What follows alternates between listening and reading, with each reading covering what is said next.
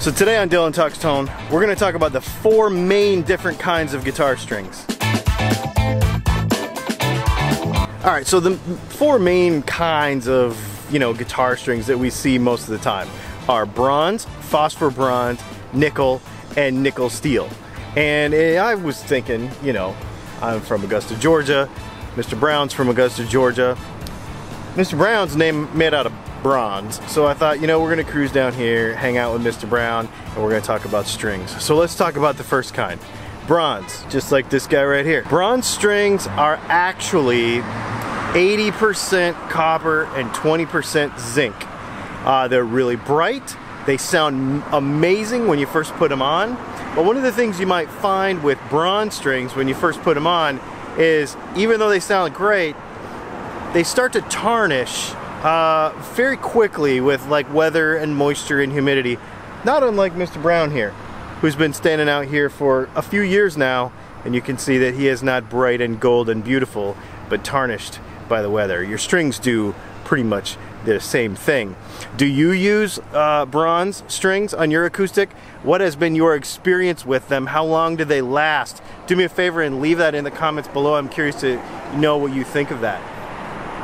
Now the second kind of acoustic guitar strings are the kind that I personally like and when we did this whole experiment with the whole, you know, we're doing like eight different sets and my wife is giving me the sets bare and we're trying them, you know, that experiment I'm doing all with phosphor bronze because that is my favorite, pers personally my favorite.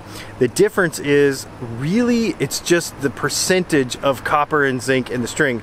Instead of being 80-20, it's like 92 and 8, okay? So it's just a percentage change, but it changes a lot of how the, the strings are bright.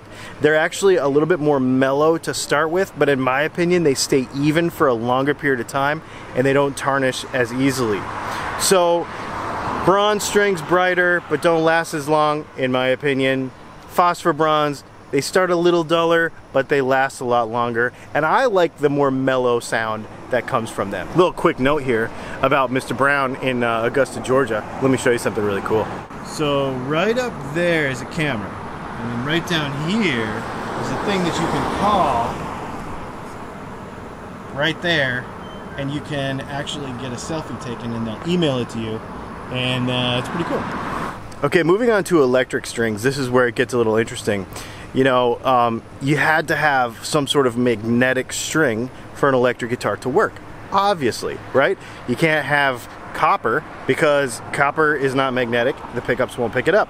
Um, now they still will pick up the center core, but it doesn't sound as good. So they had to come up with something different. Back in the old days, they used straight nickel. In fact, a lot of people still do use nickel because it's a nice, mellow, bluesy, and jazzy sound. But as nickel prices went up because the military was changing what color or what metals they were using and you know availability it always seems to come down to availability and price in the guitar industry. Then we have like a nickel plated steel which is more common today. And so uh, you'll hear a lot of country players and a lot of people that really need a lot of like attack, like super pick attack twang basically out of their strings. They'll go for that blend that plated stuff instead of like a solid nickel string. It's a little more mellow. The jazz guys like it. The blues guys really like it. And uh, try them you know? So here's my question.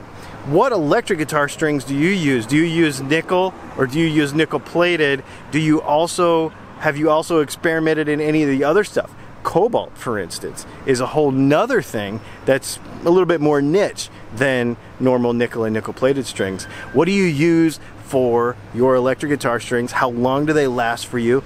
Just curious what your personal success is with those various strings. Do me a favor and leave it in the comments below. Well, we'd like to thank Mr. James Brown for joining us today in our little conversation about guitar strings. I know that this is really kind of a fun uh, experiment that I've been doing with the acoustic stuff over the last few weeks, and I know we have a few weeks left. Do me a favor, my name is Dylan and this is Dylan Talks Tone. You know that part. But can you do me a favor and hit that subscribe button? We're doing all kinds of cool stuff like this. Hit the little bell next to it. And the next time we make a cool new video like this, you'll know and you'll be able to watch it along with us. And if you have any questions about guitar tone, guitar tech, anything like that, put that in the comments below and I'll make a video just for you.